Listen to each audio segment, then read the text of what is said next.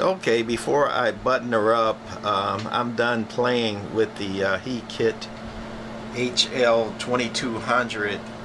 Um, basically a Heathkit SB220 redressed, all dressed up to match the um, newer Heathkit looks and line of equipment. Other than the looks, it's basically a um, Heathkit SB220, a later model Originally this had 15 through 80 meters and when I bought it it was set up for 6 meters only so we had to do some um, playing around switching the uh, tuning load caps because they were uh, 6 meters.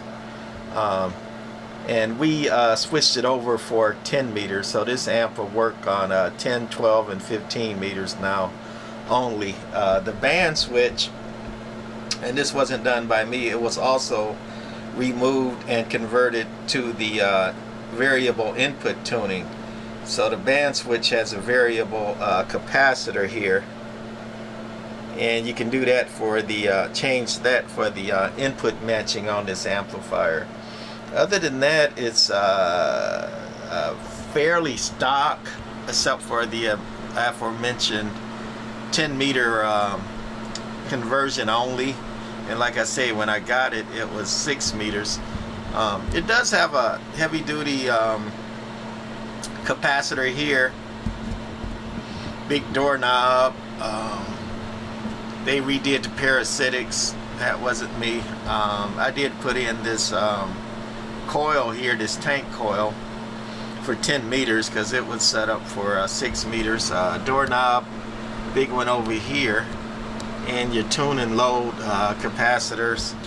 Uh, it does have the Harbach um, high voltage board which also has to bias. They improved the bias uh, by using some um, heavy duty diodes in series for the uh, negative bias and uh, other than that it's pretty much stock. This one is very clean. Uh, it's the reason I bought it plus it had good tubes in it.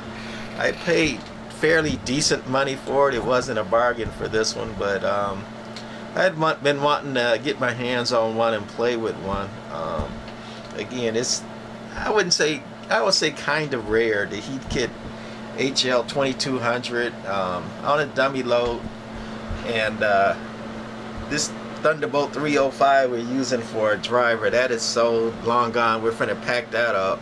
Um, so we were testing that and we're like hey we might as well use it for a driver because even though it'll do 300 watts it's got the uh, variable power level there so we got it back down uh, with the power level. And actually uh, this gonna use the watt meter here and that's the 2000 watt scale and that's just the uh, Thunderbolt 305 dead keen about 40 watts. Hello hello hello hello Audio, swinging about 100 average. That's the plate meter of the uh, Thunderbolt 305 there. Alright, gonna unkey and um, key the foot switch. Um, that's the high voltage. We're on the high side, which is SSB. The CW would be the low side. So we got the foot switch key down and um, well, we unkey it. It's doing about um, I also say about 3 kilovolts uh, high voltage. And then um, keying it down with no drive um, that's the plate current with no drive um, with the bias. Originally until they um, came out with the Harbach and other mods to up the bias a little bit. When you keyed it down with no drive it would be sucking out a whole lot more power with with that but uh, modern thinking they uh, up the bias a little bit to kind of tame that down. And hopefully we're still all tuned up on average. So we're gonna key it down and key down the uh, HL 2200 on average. Hello hello. Audio audio.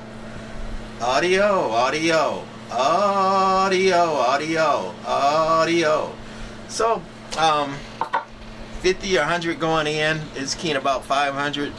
Keying a uh, swinging to a thousand on average and carefully reaching over that three kilovolts and putting it on peak there. And gonna key it all down. Foot switch first and then key to mic. Audio. Audio, audio, audio, audio. Hitting about 2100, 2200 peak watts on a dummy load. No false watts, but only about 100 going in. Uh, the guy said they were brand new tubes. One of the reasons I bought it, and uh, I guess the guy was right. Um, took me a long time to get this thing tuned up right, you know, converted it, converting it from 6 meters to 10 meters, but uh, I think I'm done. That's it with this guy, the Heathkit HL2200 uh, key down on the bench. We may do another one and go through it, but that's going to be it for this one. Bye.